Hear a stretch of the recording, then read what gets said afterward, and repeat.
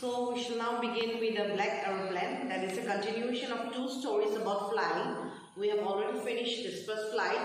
Now it's a black aeroplane. So here you will see how the author escaped from a very turbulent flight which he was flying all by himself. So let us begin with the class, the black aeroplane. The moon was coming up in the east behind me and stars were shining in the clear sky above me. There wasn't a cloud in the sky.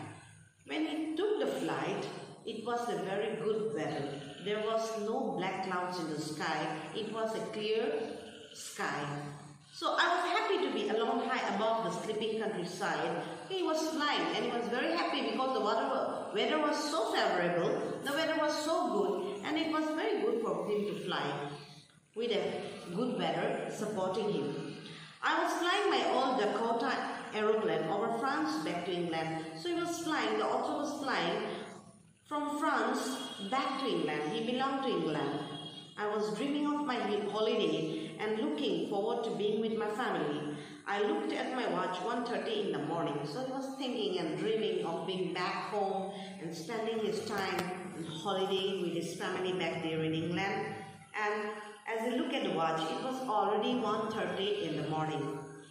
I should call Paris Control soon, I thought as I looked down past the nose of the aeroplane. I saw the lights of a big city in front of me. I switched on the radio and said, Paris Control, Dakota DS088 here. Can you hear me? I'm on my way to England. He was very happy that he was soon going to reach England. So he called the control room and informed them that I'm on my way to England. Over. The voice from the radio answered me immediately. DS088, I can hear you. You ought to turn 12 degrees west now. DS088, over. So suddenly there, from the control room again, he got a message that he had to turn 12 degrees west.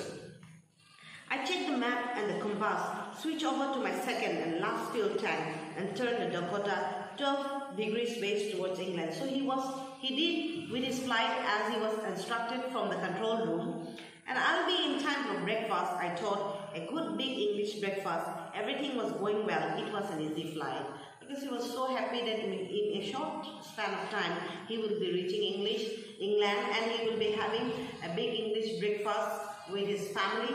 And he was thinking of all these things. He was so happy and so excited because everything was good over there. He was... Uh, it was a very fine weather day and so he was happy to be back home. Paris was about 150 kilometers behind me when I saw the clouds, storm clouds. They were huge. They looked like black mountains standing in front of me across the sky. I knew I could not fly up and over them and I did not have enough fuel to fly around them to the north or south. But suddenly, all his happiness were turned to darkness when he when he was just he just took the flight and he moved around 150 kilometers from Paris he saw the black clouds appearing in the sky and now he was in a dilemma. What he would do?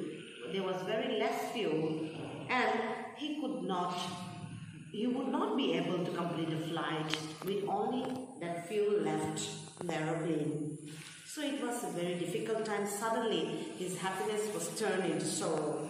I ought to go back to Paris. I thought, but I wanted to get home. I wanted a breakfast. If he fly to England, the fuel will not support him. So he thought better to go back to Paris again. So, but what about breakfast that he was dreaming of? What he would do with that? Now he has to think about it.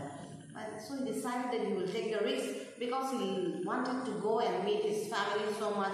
He was missing his English breakfast so much that then he decided to take the risk. Instead of going back to Paris, he wanted to go back to England.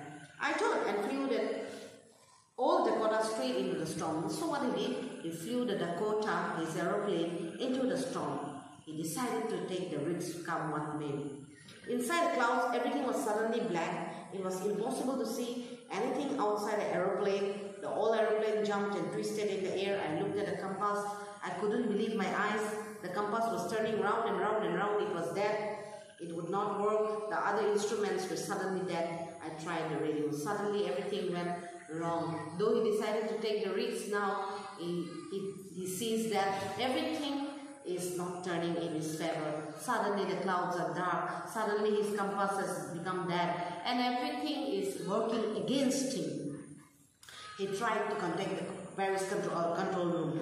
Paris control, part Paris control, can you hear me? There was no answer. The radio was dead too. And he lost contact with the control room. I had no radio, no compass, and I could not see where I was. I was lost in the storm. He was lost in the storm up there in the sky. And I got then in the black clouds, quite near me, I saw another aeroplane. But suddenly, what we see? He saw an aeroplane which was approaching him. Suddenly, in the dark, he could not believe his eyes. It had no light on its wings, but I could see it flying next to me through the storm. I could see the pilot's face turn towards me. I was very glad to see another person. He lifted one hand and waved. Follow me, he was saying. Follow me. He knows that I'm lost. I told he's trying to help me. Suddenly, out of nowhere, one aeroplane came and the pilot of the aeroplane uh, uh, telling him to follow him. So he was lost. He did not understand what was happening to him. Suddenly, in such a problem, one fellow has come and try, is trying to help him. Because he knew that he was lost, he has already lost control over the uh, control, uh, control room. He turned his aeroplane slowly to the north in front of my Dakota so that it would be easier for me to follow him. I was very happy to go behind the strange aeroplane like an obedient child and what to do. Now he has nothing else to do. His compass is dead. He has large shortage of fuel. And what he can do? He can only follow the instructions of the pilot who is seated in the other aeroplane which is near him. After half an hour, the strange black aeroplane was still there in front of me in the clouds. After half an hour also, that aeroplane was still there in front of the cloud, in front of him in the clouds.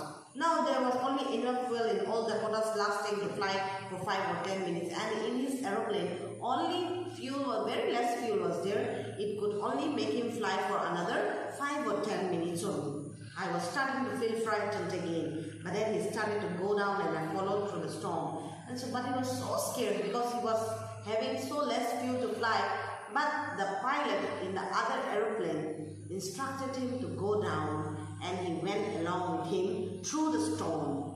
Now you remember the storm was very heavy one. Suddenly I came out of the clouds and saw two long straight lines of light in front of me. It was a runaway and I was suddenly he saw himself landing in the runaway. So the, the, the aeroplane was ready for landing. It was a runaway at airport. I was safe. I turned to look for my friend in the black aeroplane. But the sky was empty, there was nothing here. So suddenly he landed, and when he turned to thank the other fellow, the other fellow in the aeroplane, but he could not see him. He, he suddenly vanished. The black aeroplane was gone. I could not see it anywhere. It was not there anymore. Where did the airplane go? Now he is surprised, which because of whom he was able to land safely. Where did the pilot go? Where did the black aeroplane go? Now he could not, he cannot understand actually what had happened. I landed and was not sorry to walk away from the old Dakota near the control tower. I went and asked the woman in the control center where I was and who the other pilot was. I wanted to say thank you. She looked at me very strangely and then laughed. Okay, so he went to the control room and asked the, the lady over there telling that where is the other person who was flying the black aeroplane. I wanted to meet him. I wanted to say him thank you. But when he told these words to the lady, she was very surprised. And she says, what aeroplane are you talking about? Which pilot are you talking about? I'm not understanding. Another aeroplane? Are you gone? Are you lost?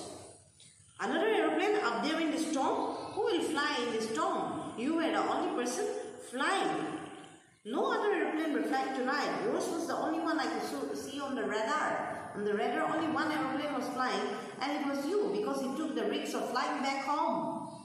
So, who helped me to arrive there safely without a compass or a radio and without any more fuel in my tanks? Who was the pilot in the strange black aeroplane flying in the storm without lights? So, that was a big question mark and a mystery. Who helped him? Actually, who was the aeroplane? Who was the pilot flying the aeroplane? Who helped him? It's still a mystery. Maybe it was some angel or a miracle which happened to him which was beyond his understanding. And this is the, in this way, he escaped from the storm that particular night. He, he could reach home safely. And he, though he wanted to thank the other pilot, he could not find him anymore.